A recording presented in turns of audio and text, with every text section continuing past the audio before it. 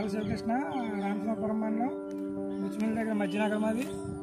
ఈ tractor tractor brand వారిది ఇజుకి మందు మరి స్ప్రే చేసాం తొమ్మిది ఎకరాల వరకు స్ప్రే చేసాం దీనివల్ల ప్రతిదీ తెగులు అనేది మంచిగా కంట్రోల్ అయింది మాకు.